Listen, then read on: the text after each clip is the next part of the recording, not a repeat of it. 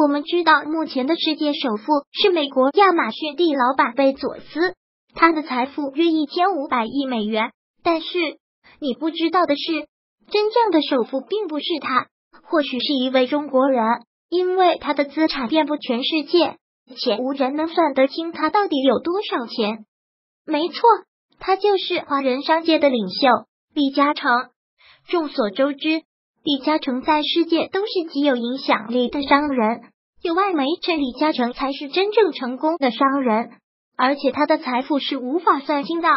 只是李嘉诚早已过了一争高下的年龄，他更愿意隐藏自己的财富，而只对实体经济感兴趣。至于排名，于他如浮云。有人说，李嘉诚家族真正的大本营并非香港、内地或英国，而是加拿大。这点从他的两个儿子李泽杰和李泽钜都是加拿大国籍来看，并非空穴来风。李嘉诚早在上世纪八十年代就买入加拿大皇家银行百分之九的股份，后来更掌控加拿大赫斯基能源公司超一半的股份。可以这样说，加拿大近一半的能源被李家控制，主要包括加拿大国内的石油和天然气。除此之外，李嘉诚于上世纪八十年代投资二百亿美金在加拿大开发的地产项目，是加拿大当时史上最大的一个项目。因此，说加拿大是李嘉诚的大本营并不为过。毕竟，仅赫斯基能源公司这一家就上世纪为他赚取了数百亿的利润。除了加拿大，李嘉诚还是英国和香港的主人。英国和香港人的每一天生活几乎都与李嘉诚息息相关。李嘉诚在香港是很难把钱花出去的，因为无论在哪消费，最后钱还是回到了自己的口袋。他在香港产业分布之广，是难有人能够企及的。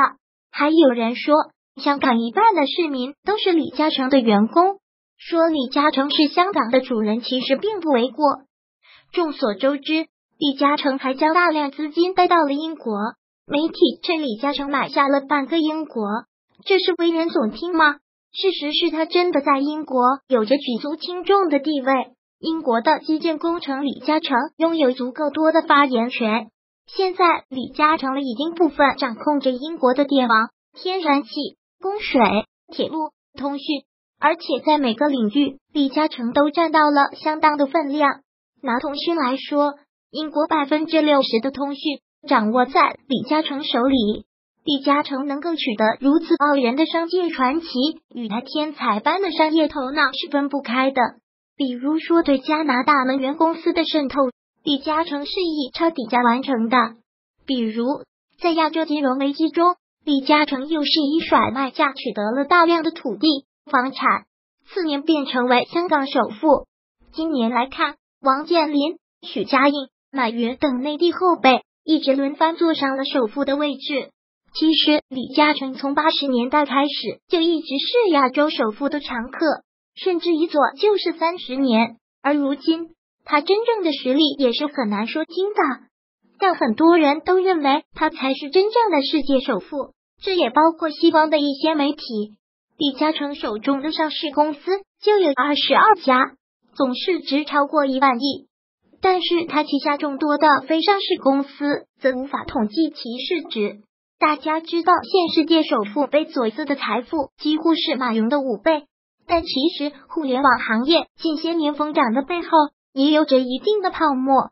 相对来说，李嘉诚的事业更加牢不可破，因此说他是真正的世界首富还是有一定道理的。